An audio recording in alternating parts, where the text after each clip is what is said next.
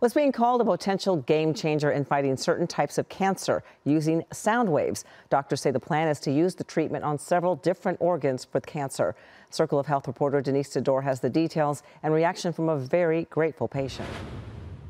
Take a breath in and then just hold it. Ultrasound offers a clear look at the cancerous tumors in Chris Donaldson's liver, but in less than 24 hours.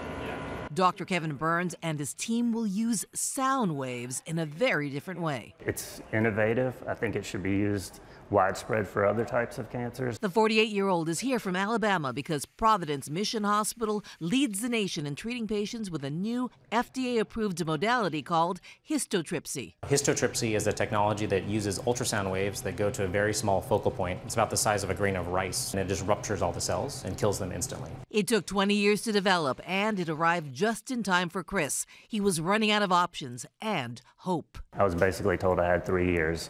And when it metastasizes to your liver, it somewhat starts a clock of two years. In 2022, Chris was diagnosed with ocular melanoma. Radioactive seeds behind his eyes destroyed the cancer there, but because it traveled to his liver, doctors weren't sure how well conventional treatments would work. Then, Chris heard of histotripsy. You are asleep for this procedure uh, just to prevent any sort of pain or discomfort, but there's no incisions or anything like that. In the air, sound dissipates. It needs a medium, and in this case, doctors use degassed water. So there's actually this water bath that sits on top of you. Unlike radiation, this sound wave therapy doesn't affect any other tissue. It can be repeated as needed. After each treatment, the organ bounces back. And so when the liver cells grow, they kind of grow back. Early studies show liquefying the tumors leaves behind behind benign genetic material that may improve the body's defenses against cancer. The plan is for this device and technology to continue on to other organs or other modalities. Two months after treatment, Chris's liver remains cancer free. Truly saved my life.